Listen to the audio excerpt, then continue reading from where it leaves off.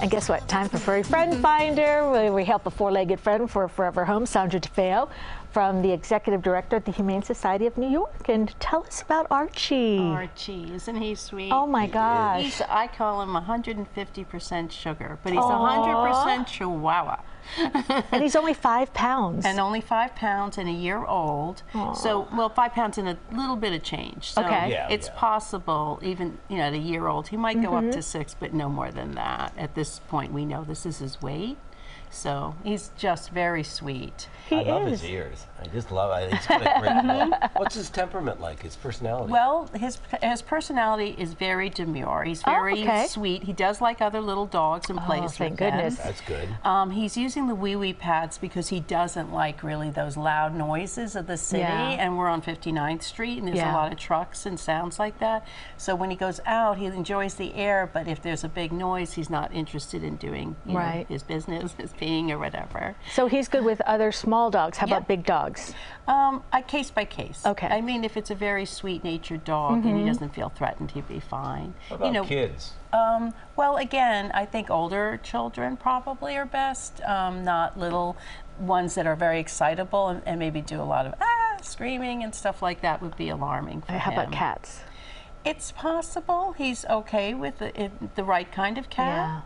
Um, but you know, you just always want to be careful with the chihuahuas and the pugs and all those animals with the eyes that pop a little, because if a cat takes a swat, Oh. then they have an eye injury. Right. So, but you know, it depends, case by case. How But did? unlike a pug or a French bulldog, he's not going to snore. No, Right, no snoring. right. He has Yeah. a very good nose. Yeah, yeah, yeah. and how did he come to you? Um, someone who couldn't take care of him, and he needed a little bit of building up. And Uh-huh. um, yeah, so now he's definitely built up, and he's ready to be adopted. And he's just a year old, five pounds. Hello, We're hoping maybe apartment if he dog. goes to a house like Reggie did, where they have the yard, he might go out and Yeah. learn how to be housebroken like that. Yeah. Otherwise, he's using a wee wee But you know, to be in a TV studio with all the lights and all the movement during the breaks, there's lots of noise. Yeah. He doesn't seem to No. be that stressed. I mean, look at him. No. Of course, he's being held and loved by Cindy kissed. Shu. So yeah. well, I Oh, mean, Well, he's wearing his little that. sweater though, because if it's too cold, then he shakes a little. That's Well, what so Chihuahuas do do to warm up. Yeah.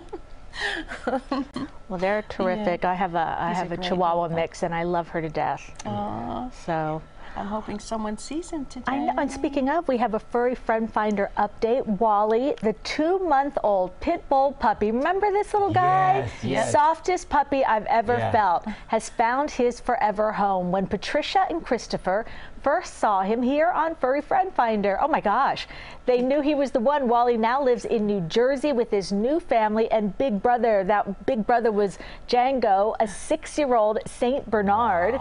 Wally loves playing with his toys, exploring, and napping. Aw, so cute. It really is all about the fit. Yeah. It's just that perfect fit. And then it's like you say, whether it's cats or dogs or kids. Well, there's two cats in that house. yeah. um, Suki and Cash, and they are they you know they Everybody they, gets along. Everybody gets along. Yeah. Love it. Well, hopefully, we're going to have a furry friend finder on Archie. for Archie. Yeah. We Okay. hope so. Now, for more information on Furry Friend Finder, just head to our website, cbsnewyork.com. We'll be right back.